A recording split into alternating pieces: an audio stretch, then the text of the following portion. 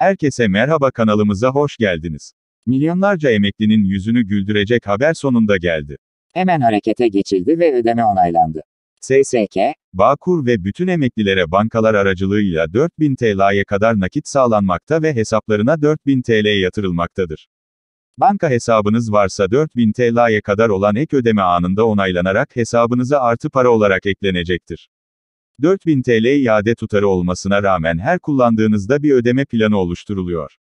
4000 TL kullananlar bu ödemeyi 12 ay taksit ve taksitli nakit avans olarak yapabilirler.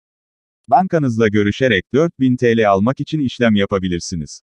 kredi veya kredi kartı olmadan 4000 TL ödeme anında maaş bankanız ile görüşerek alabileceğiniz bir ödemedir.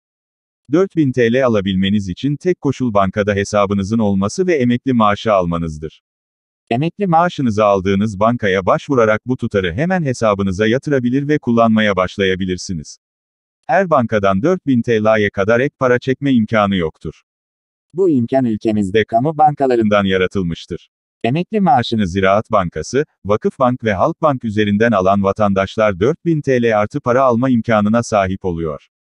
4000 TL artı para almak isteyenler emekli maaşını aldıkları banka şubesi ile iletişime geçerek veya internet bankacılığı şifresi ile bankanın mobil uygulamasına girerek nakit başvuruda bulunabilirler. Banka tarafından hesabınıza yatırılan parayı anında kullanmanız mümkündür.